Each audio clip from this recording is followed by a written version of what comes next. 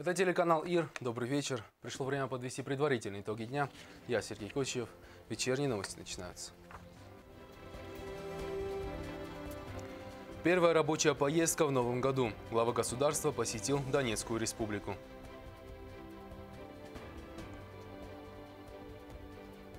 Продолжается подписка на печатные издания на второе полугодие 2018 года. Одна из главных проблем государственного телевидения – периодическое отсутствие сигнала. Почему проблему не могут устранить и сколько это будет продолжаться?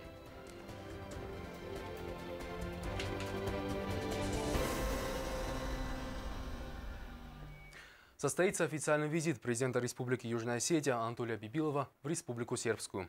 В рамках визита глава Юго-Осетинского государства примет участие в торжествах, приуроченных к празднованию Дня Республики Сербской.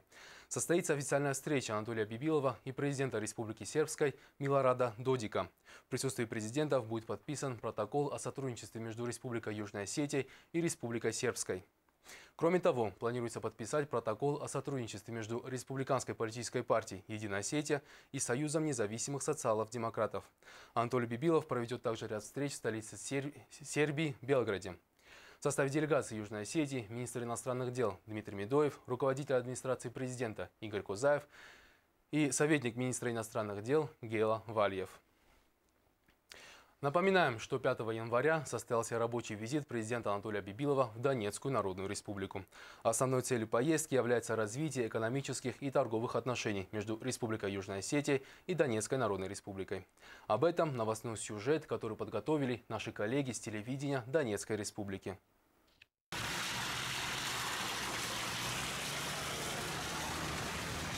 Анатолий Бибилов посетил позиции батальона «Пятнашка» в районе Авдеевской промзоны. На передовой глава Юго-Осетинского государства чувствует себя в своей тарелке. Анатолий Ильич, профессиональный военный, генерал-лейтенант, закончил Рязанское училище ВДВ имени Ленинского комсомола. Принимал участие в боевых действиях в Южной Осетии. Поэтому конфликт в Донбассе ему более чем близок. Ведь Юго-Осетинское государство прошло то, что сейчас проходит Донбасс. Вот эти события, они увязаны друг с другом. События в Южной Осетии, события в Абхазии, события здесь сегодня, в Донецкой Народной Республике, в Луганской Народной Республике, они увязаны в одну цепочку. Если они создают цепочку, то мы создадим цепь, которая, которую невозможно будет порвать. А пока на передовой, как и обычно, шумно. Бойцы словно ходят по линии ножа. Неизвестно, когда начнется новый обстрел со стороны противника и чем он закончится. Со вчерашнего вечера с часов 8 поработал снайпер один, второй номер, работала ПТРД, работал СПГ. За ночь две мины прилетело 80-е. Немало здесь и добровольцев из Южной Осетии и Абхазии. Батальон «Пятнашка» интернациональный. Многие приехали на Донбасс еще в 2014-м. Воюют дружно, ведь стоят заодно. После 2 мая решил приехать, когда увидел, что они в Одессе натворили с людьми. Вот это меня побудило приехать. Укрывам хочу передать от души. Вот мы тоже здесь стоим и всегда буду рад их встретить вот в бою. А пока одни бойцы несут службу на передовой, другие отрабатывают навыки на полигоне. На учение прибыл и Анатолий Бибилов. На торжественном открытии звучали два гимна ДНР и Республики Южная Осетия в знак дружбы и взаимоуважения.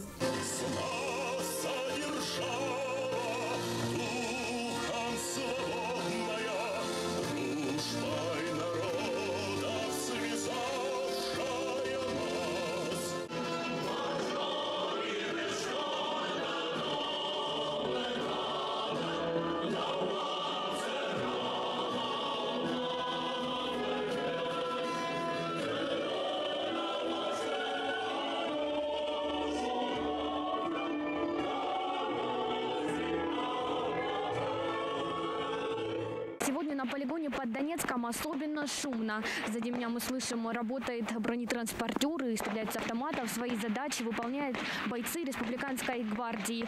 Также здесь собралось немало бойцов полка специального назначения. Вслед за бойцами Республиканской гвардии выходят военнослужащие первого отряда полка специального назначения батальона «Чечен». Их задача – штурм здания, в котором находится условный противник.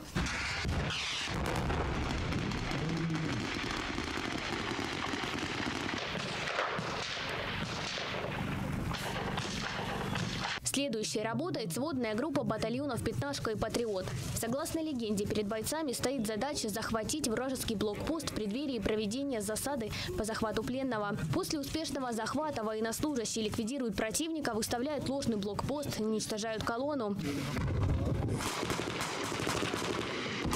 Затем бойцы берут пленного, что и было изначальной целью, и уничтожают блокпост, чтобы не оставить после себя никаких следов. Все было проведено быстро, качественно, профессионально, наценку пятерочка. Завершают учения бойцы Республиканской гвардии. Их задача – налет на опорный пункт. Отдельно бойцы продемонстрировали работу спаренного пулемета, который был сделан в ДНР. Это самодельные с э, БТРа снятые ПКВТ, две штуки. Вместе их приварили там, ну, самодельное все. И вот Хороший пулемет. хорошая м, двойная убойная сила у него. Но это только начало учений. Командиры говорят, есть успехи, но впереди еще много планов. То, что мы сегодня показали, показали на- отлично даже. да. Совместные учения будем проводить с Южной Осетией. И хотелось бы, чтобы э, это проходило не только в Южной Осетии, но и здесь совместные учения. Также планируется взаимодействие между ДНР и Республикой Южная Осетия в экономической отрасли, сферах образования и здравоохранения. Мой приезд э, сюда, он, опять-таки подчеркиваю, рабочий, в принципе, визит. Мы встречались с главой Донецкой Народной Республики, обсуждали экономическое взаимодействие, обсуждали взаимодействие в сфере образования, здравоохранения, ну и в том числе, конечно же, не мог не привезти в зимнее время зимнюю форму одежды для тех ребят, которые здесь есть, и проведать. Повстречаться, поговорить, пообщаться. Для меня это очень важно. Виктория Цыпленкова, Елена Соколова, Алина Боярская, «Панорама». Продолжается подписная кампания на местные печатные издания на второе полугодие 2018 года. За информацией о том, как проходит подписка, мы обратились в агентство «Юга Сетпечать». Здесь нам рассказали о том, каким изданиям отдают предпочтение жители Южной Осетии. Как отметила Зоя Шавлохова, больше всего подписчиков на общественно-политическую газету «Южная Осетия» и газету «Республика». Хуже обстоит дело с газетой «Хурзарин» и журналом «Фидио», которые выходят на осетинском языке. В первую очередь хочу поздравить всех с Новым годом и Рождеством. Счастья и благополучия в ваши дома. Хочу обрадовать подписчиков, что уже завтра они получат первые номера 2018 года газеты «Южная Осетия» и «Хурзарин». Газета «Республика» выйдет чуть позже. Есть приятная новость. Количество подписчиков на местные издания увеличилось. Подписка на газету «Южная Осетия» Хурзарин на полгода составляет 330 рублей. На молодежное издание «Республика» 192 рубля. И подписаться на журнал «Фидио» стоит 90 рублей. Подписка продлится до 15 января. Все имеют возможность подписаться на местную периодику. Большую активность проявили Министерство внутренних дел, образования и культуры.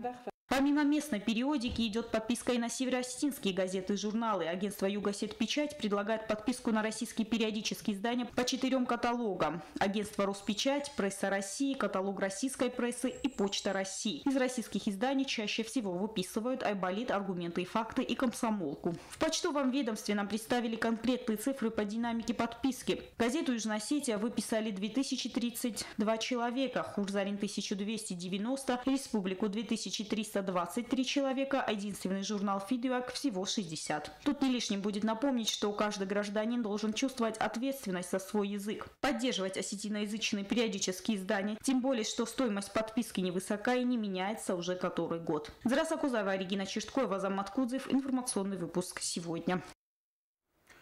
С наступлением холодов во время дождей и снега на высоте Паук, расположенной в восточной стороне столицы, отключается сигнал. Из-за таких технических неполадок прерывается вещание государственного телевидения. Проблема давняя, но решить ее в корне не удается.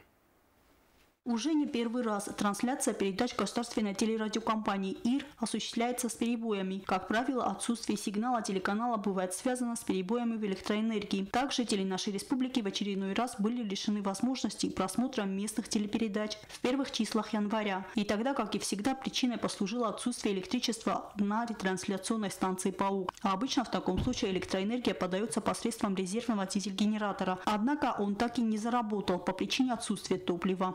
1 января э, подача электропитания э, пропала на объекте «Паук». Э, об этом мы узнали сразу же, обратились за информацией в энергоресурс, там ответили, что есть обрыв. Пока они искали, где обрыв, и устраняли эту проблему, мы должны были запустить э, дизель-генератор. Дизель-генератор у нас имеется, но э, заправить э, дизелем дизель-генератор, средства на заправки э, у нас нету.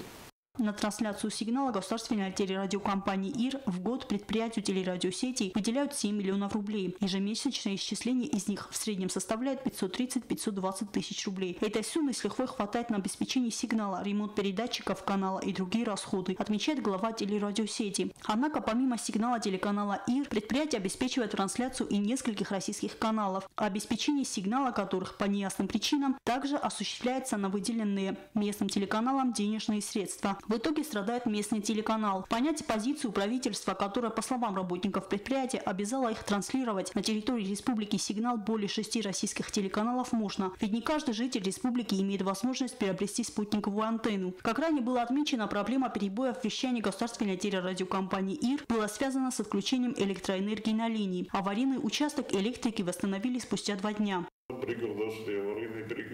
На предполагаемое место аварии выехала специальная бригада. Мы разбили линию на участке и обнаружили аварию на вторые сутки. В целом восстановительные работы заняли два дня.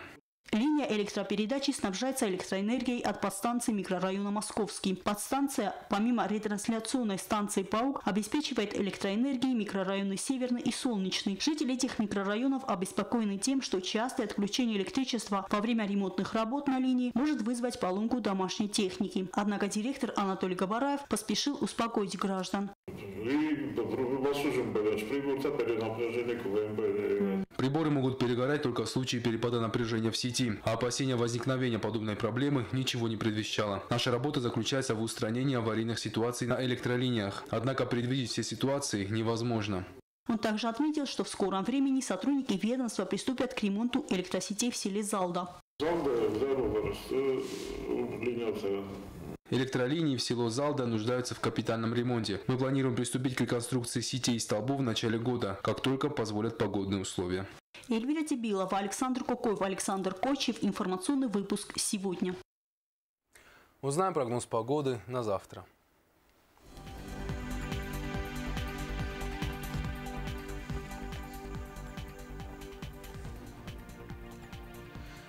В Знаурском районе переменная облачность. Днем 0 градусов, ночью минус 2. В Залском районе переменная облачность. Небо... Возможен небольшой дождь. Днем плюс 6, ночью минус 3.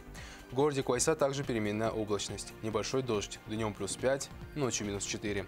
В Ленгорском районе переменная облачность. Днем плюс 5, ночью минус 5. В столице республики также переменная облачность. Небольшой дождь. Днем плюс 5, ночью минус 6. И к этому часу у меня все. Желаю вам удачной первой рабочей недели в 2018.